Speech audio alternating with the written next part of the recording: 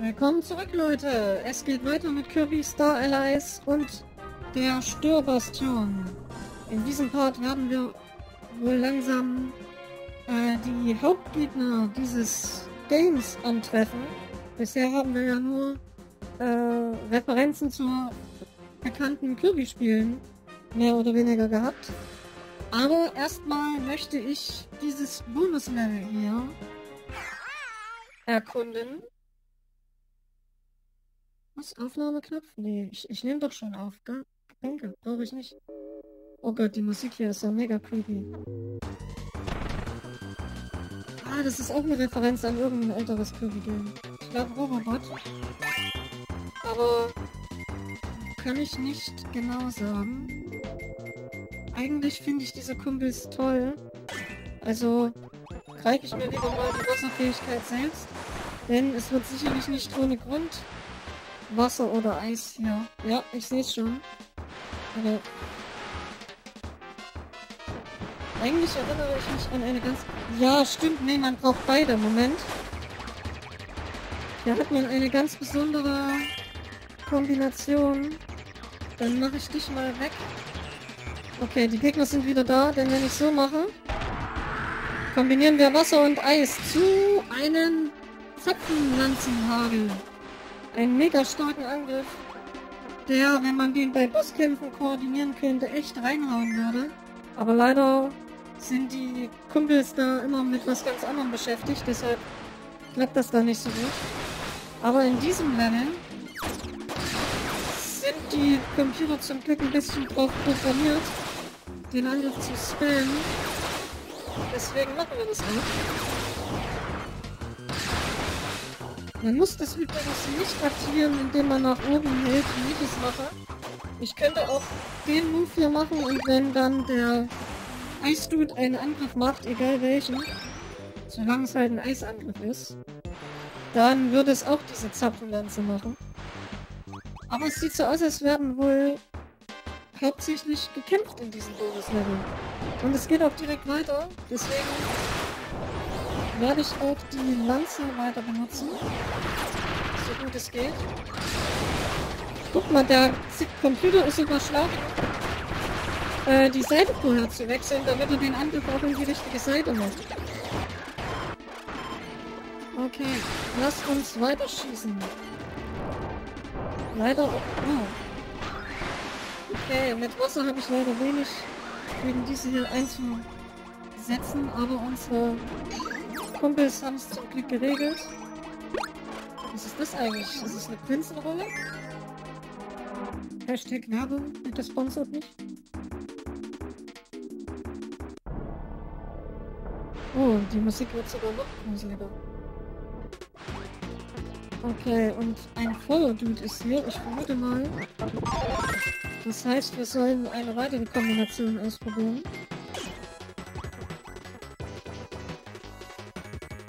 Äh. Mal. Danke. Nämlich Feuer und Wind wird zu steigend Rutzler. Eigentlich fast dasselbe, nur halt mit Feuer und Wind. Und deswegen natürlich sehr effektiv gegen Eis und heilige Scheiße, das haut richtig rein.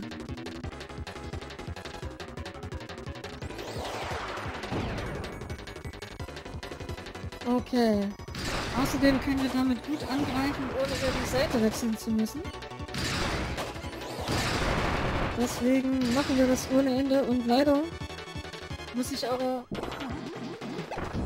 den da oben ja, das war aber gut gemacht, weil man jetzt auf diese Seite Gegner spawnen. Leider ist leider ist der CPU jetzt viel dümmer als der letzte. Und was soll das denn jetzt bitte? Das habe ich mich nicht erlaubt, aber macht's meinetwegen schon. Meta Knight, möchtest du das auch mal einsetzen?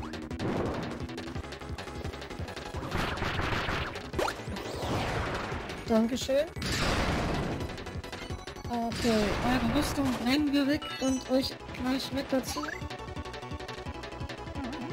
Ich gehe ganz gefährlich unter der Säge drunter durch und schaut mal, was wir hier haben. Äh, ja, ekelhaft, jetzt bin ich voller Staub und was auch immer das alles ist. Semmelbröseln und... Äh, oh. Okay, Hätte nicht sterben können.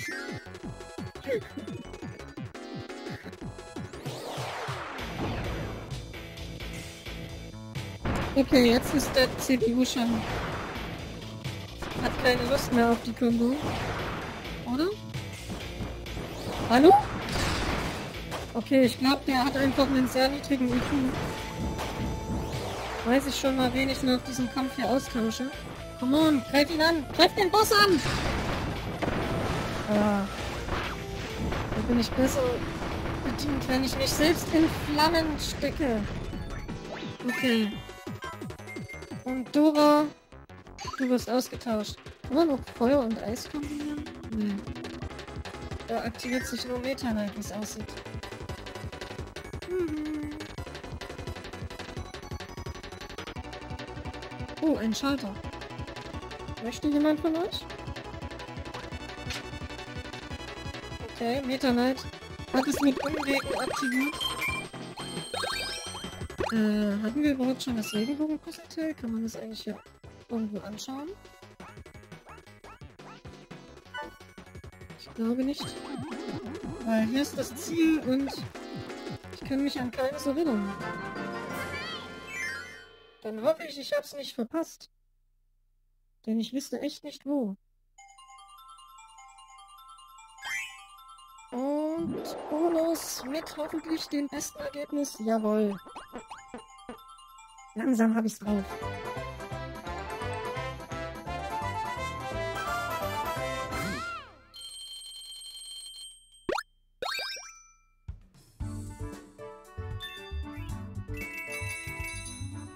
Und haben wir's.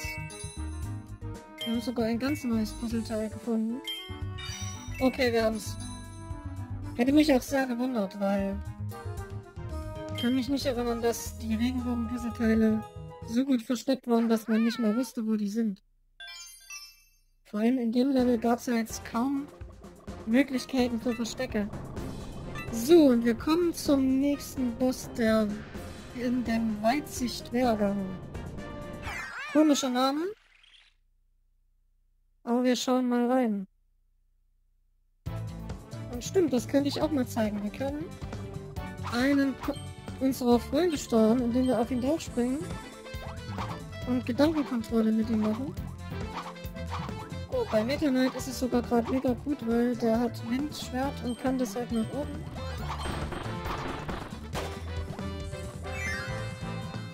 Aber leider steigt man auch sehr leicht wieder versehentlich ab. Aber trotzdem, ich weiß mal... Ah ja, und man kann keine Kombi-Power benutzen. Das heißt, ich könnte jetzt... Autsch kann meine das Element von Meta Knights Schwert jetzt nicht wechseln, weil wenn ich nach oben drücke, ich kann auch keine neuen Freunde ins Team nehmen. Wenn ich nach oben drücke, dann geht es hier auf Absteigen. Oh ja. Ich glaube, hier gab es auch irgendwo ein Geheimnis.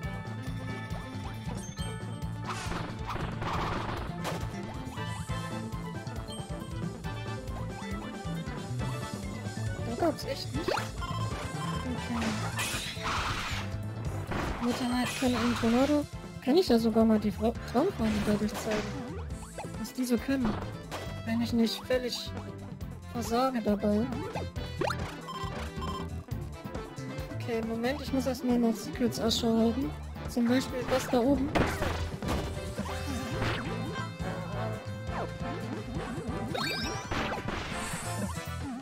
Eigentlich kann man diese Sägen sogar zerstören, indem man ein bestimmtes Element auf sie einsetzt, aber leider haben wir das gerade nicht zur Verfügung. Deswegen geht das nicht. Okay, der Stein... Ah, Metator auf! Ah, ich habe ihn noch. Der Stein könnte hier relevant sein, deswegen nehme ich ihn. Da ist noch ein Stein, Hilfe! Guckt sich mit der Faust weg und natürlich ist der Stein hier relevant. Ein Super Mario Block sind wir gewesen. Ein Bonusraum, in dem wir... Ah! Ebenfalls eine neue Kombination austesten. Also, das haben sie wirklich gut gemacht, finde ich, in dem Game. Es gibt richtig viele Kombis,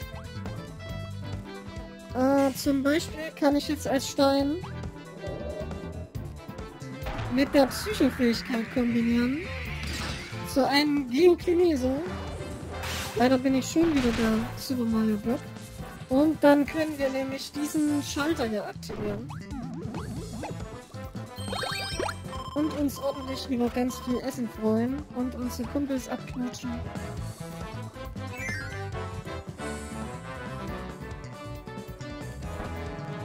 Denn wir sind ja alle gute Freunde und irgendwie bin ich gerade nur dieser Mario Block. Jetzt bin ich das Freundesort. Oh, Taranza. Und Dark Midnight.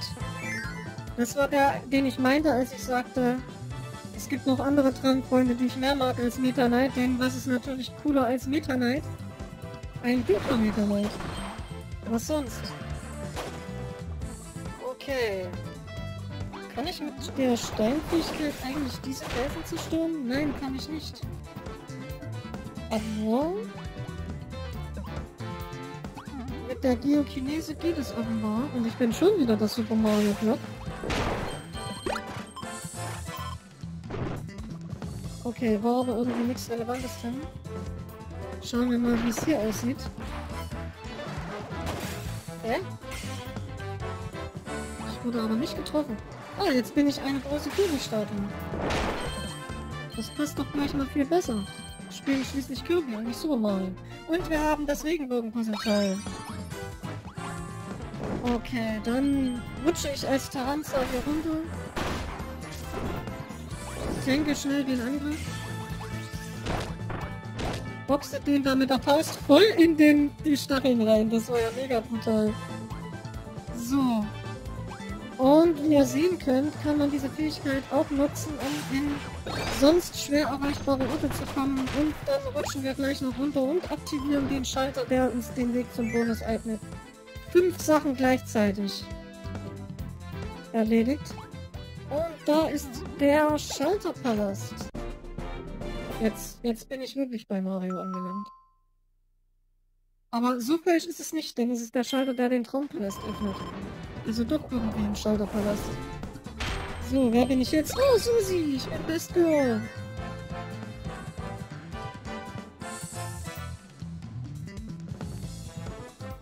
Okay. Damit können wir uns dann durch das Tor begeben. Und jetzt müsste aber auch langsam mal der rauskommen. Und so ist es auch. Dann werde ich mal euch beiden oder ihr drei zurückstellen. Hm. Ich will aber eigentlich keine von euren Fähigkeiten dabei.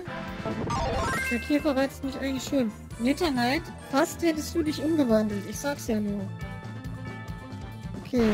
Der Käfer kann auch nicht mit Elementen kombiniert werden. Ach ja, stimmt. Und der Käfer kann auch so ein bisschen fliegen. Eine mega geile Stampfattacke. So, dann bin ich jetzt gespannt, was wird der Boss wohl dieses Levels sein? Schon der zweite Boss in dieser Welt, im dritten Level. Wir haben das schwarze Herz erreicht, das andere Herz. Und eine Frau schnappt es sich. Wie könnte es auch anders sein?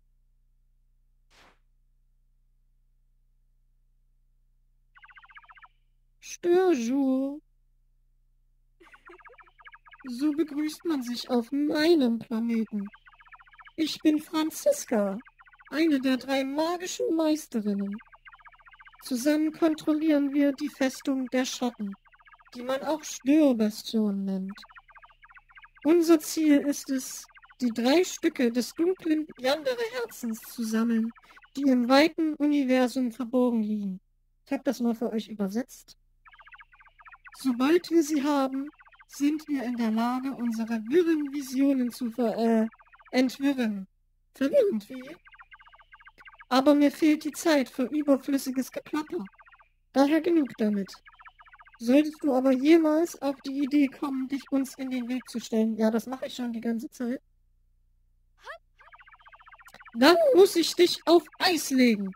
Und das für alle Ewigkeit. Franziska, die eisige Meisterin. Sie hat uns zwar schon zugeplappert, aber wir schauen trotzdem noch ihre Lore an. Die frostige Franziska ist eine der drei Meisterinnen der Magie und Anführerin der Streitkräfte von Störbastion. Ihre eiskalten Angriffe lassen ihre Gegner bis ins Mark erzittern. Und wie ihr euch denken könnt, ist natürlich ein ganz bestimmtes Element effektiv gegen sie, was ich extra nicht genommen habe, damit der Kampf nicht so schnell geht wie Wispy Woods. Denn, sehen könnt, hat sie eigentlich einiges auf dem Kasten. Kann auch antäuschen und die Seite wechseln und eine riesige Axt nach uns schmeißen, aber ich kann sehr schnell fliegen. Deswegen können wir schnell ihre zweite Phase erreichen. Jetzt macht sie einen Super Move, den man aber ausweichen kann, indem man sich direkt unter ihr stellt.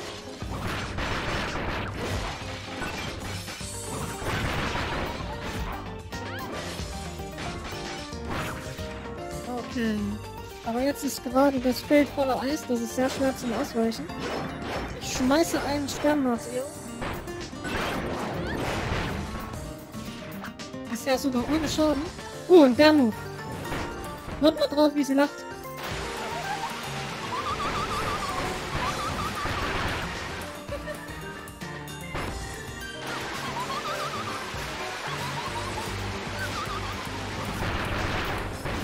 Cute, oder?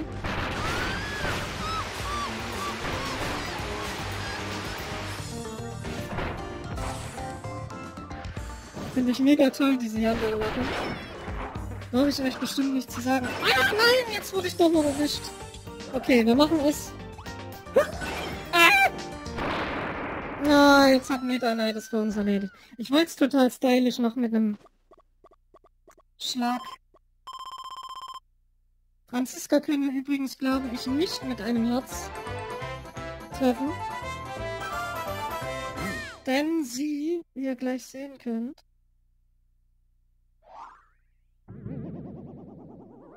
Das Herz ist auch weiterhin. Und sie klaut es uns. Weil sie halt ein, eine echte Yandere ist und deshalb lässt sie das Herz einfach nicht gehen. Hat man ja an ihrer Mache erkannt.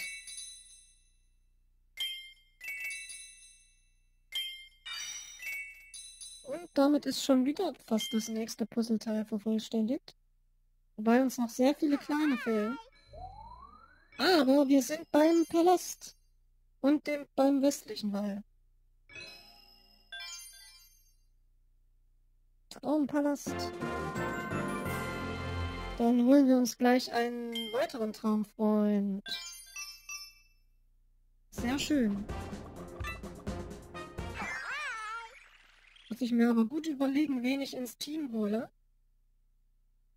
Denn wir haben jetzt schon eine echt große Auswahl. Aber ich möchte möglichst einen der neuen Traumfreunde im Team haben. Nämlich Nina Susi. Das Best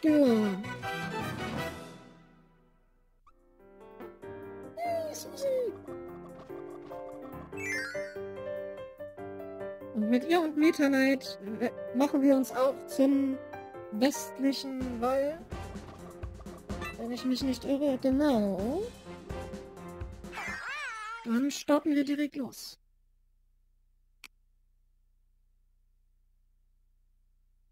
Ach so. Der Typ ist gut, den habe ich noch nicht... Okay, lass uns mal Susi auf den Kopf springen. Sie hat eine Laserknarre. Die kann sie, glaube ich, nicht aufladen. Leider kann ich keinen nach oben machen. Ah, ich glaube ich. Oh doch, ich kann ihre Hauptfähigkeit gar nicht einsetzen, dachte ich gerade, aber doch, das kann ich. Nämlich kann sie einen dicken Match an ihre Seite rufen. Und mit dem kann sie ordentlich abgehen. Kann Raketen schießen. Aber Moment, äh, lass mich mal schnell absteigen. Okay, nein, da kann man nicht rein. Ich dachte ja nur. Kann man hier rein? Nein. Okay, außerdem hat sie einen Helikopter, wie man sehen kann. Und oh Gott, die Bomben da machen mir Angst. Die haben nämlich einen extrem hohen Radius. Moment, kann man die einsagen? Äh, so schon mal nicht. Aber netter Versuch. Komm, jetzt schafft's. Ja, man kann sie. Oh. Junge, das sieht ja mega cool aus mit der Krone. Und damit können wir eine absolute Vernichtung entfesseln, die den ganzen Bildschirm in Schutt und Asche legt. Unsere Traumfreude auch gegen den Bildschirm krachen lässt und ja, sie haben keinen Schaden genommen. Kann man sehen. So. Und die Gegner respawnen sowieso immer hier, also hat es echt wenig gemacht, wenn ich ehrlich bin. Also eigentlich voll die sinnlose Fähigkeit. Aber sehr cool anzuschauen jedenfalls. Okay, ich habe noch kein Geheimnis entdeckt. Das macht mich ein wenig spitzig. Aber es scheint immer weiter nach oben zu gehen, zu diesen Leitern hoch. Uiuiui. Das wäre fast der nächste Abgrund gewesen, in den ich stürze und direkt noch ein. Aber befindet sich hier vielleicht was? Oh. Ich werde von Meta Knight nach oben Oder von Susi? Keine Ahnung. Auf jeden Fall kann ich nicht runterstürzen. Aus irgendeinem Grund. Ich glaube, es liegt entweder an Meta Knights Windschwert oder an Susi. Hm. Da brauchen wir eine Künstlerfähigkeit. Die habe ich aber noch gar nicht hier gesehen. Finden wir die etwa in diesem Bonusraum? Ja, so ist es.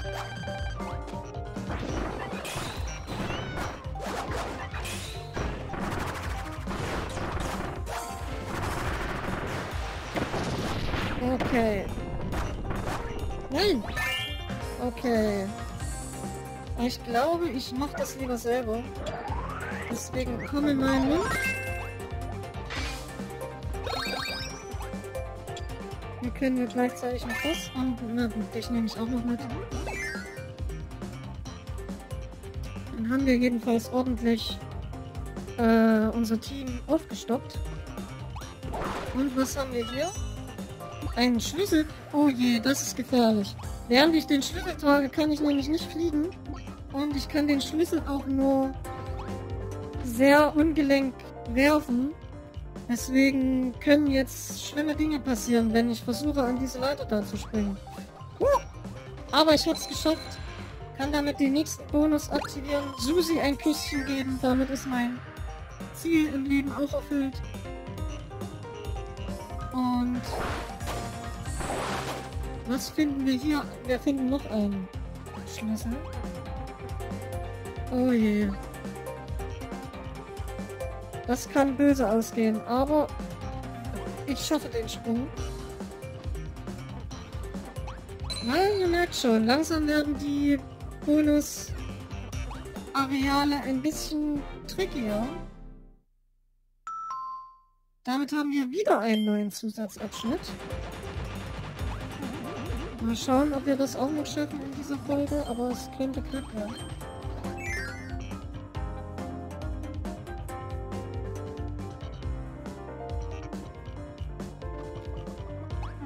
Ich sehe, haben wir da oben aber auch gleich eine Kombi-Tür. Schauen wir mal, wo uns das hinführen wird.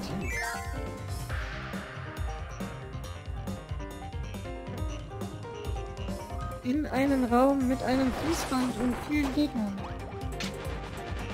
Aktivieren einen Schalter, das macht ein paar Bonussterne. Unsere Kumpels oben sind auch auf Z. Nein, nicht die Bombe da. Die wollen wir jetzt nicht nochmal ins Face haben.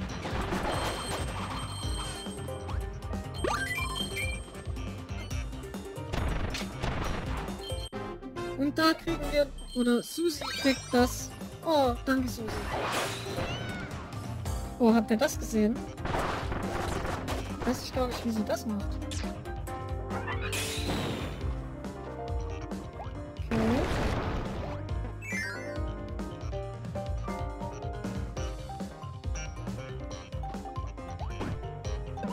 Oh. Oh, war das eine gute Idee oder hätte ich mich hier erstmal umsehen sollen? Ich kann leider nicht mehr raus. Aber ich glaube, oh, das war ganz schön knapp. Ich sollte aufpassen, wann ich mich hier durch diese beweglichen Plattformen durchschieße. Jetzt wäre zum Beispiel echt schlicht gewesen. Oh, das war aber trotzdem echt knapp. Und da ist das Ziel. Wir können nicht mehr zurück, also vermute ich, da gab es nichts. Hier ist wieder so ein Creepy Down.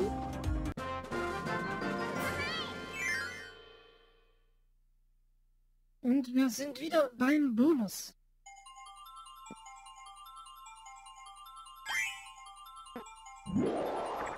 Ja, aber langsam habe ich das Timing raus. Ich schaff's zwar immer nur bis ran an den äh, Rand der Wolke. Aber Plattform 1 ist Plattform 1.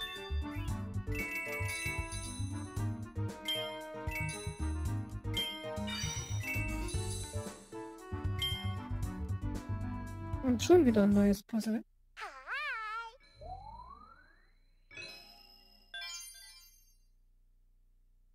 Und schon wieder ein neuer Boss, wie wir sehen können. Sektor B außerdem. Ja, ich würde sagen, ein Level machen wir noch.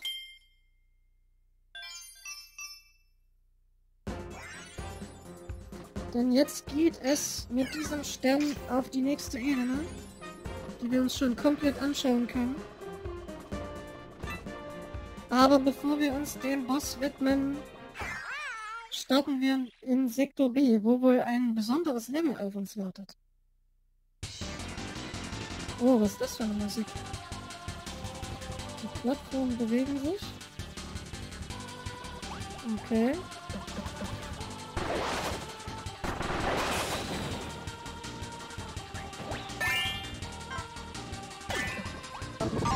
Da wechsle ich gleich mal drauf. Und was ist das? Eine neue Teamfähigkeit?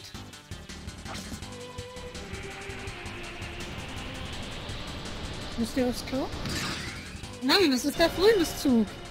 Voll die tolle Mütze, die Kirby aufhat, aber jetzt muss ich mich konzentrieren, denn wir rasen jetzt durch die Gegend. Ich kann springen, okay.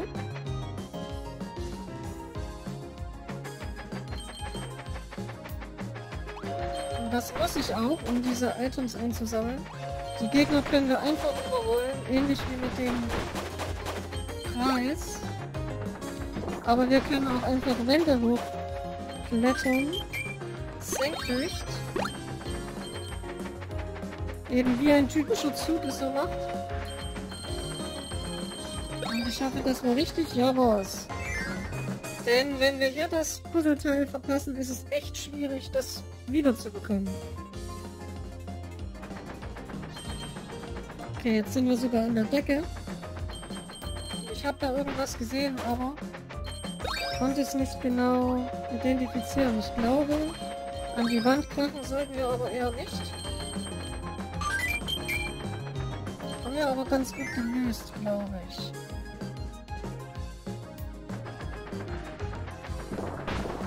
Kann ich auch an der Wand springen? Nein. Okay, oben sind noch mehr oben. Und da ist der Sperrwolle die.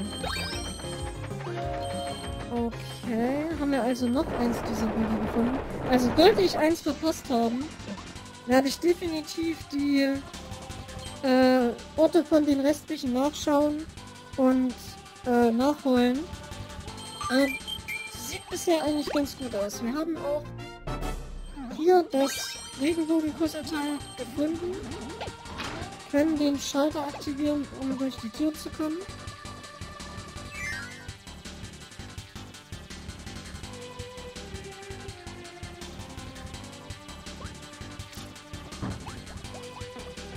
Bild fängt auch ein bisschen an zu lecken bei mir, deswegen muss ich nach dem Level nochmal echt Schluss machen. Okay, hier sind ganz viele Gegner und Steine, die auf uns drauf fallen. Und von unten ballert uns eine Kanone. Und jetzt müssen wir noch gegen Kopfwasser kämpfen, wurde das? Oh ja, das ist schon schwieriger, aber ich habe irgendwie noch keinen Schaden genommen. Und da ist der Koch auch schon tot. Und warum habe ich jetzt Schaden genommen? Der war doch... Achso, war bestimmt die Kanone, ne? Ja, lass mal den Koch mitnehmen. Er kann uns vielleicht noch helfen. denn ich glaube...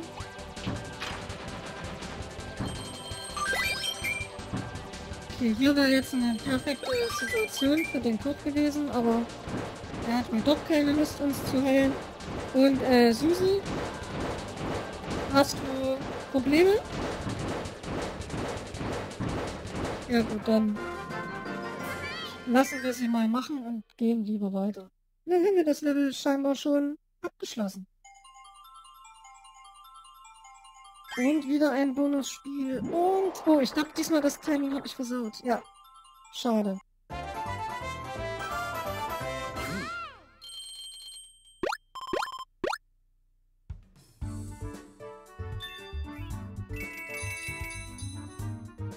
So.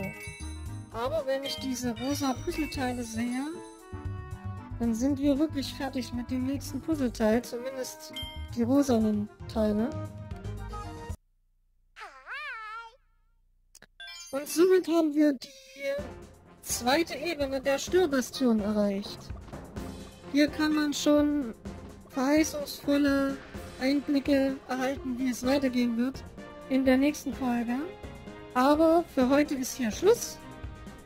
Und wenn ihr gespannt seid auf den nächsten Part, dann könnt ihr gerne liken und kommentieren und alle anderen Dinge tun, die euch Spaß machen. Eine Pizza essen oder Fußball spielen. Aber denkt daran, den Mindestabstand einzuhalten. Und dann freut euch auf den nächsten Part. Ich bedanke mich fürs Zuschauen und tschüss.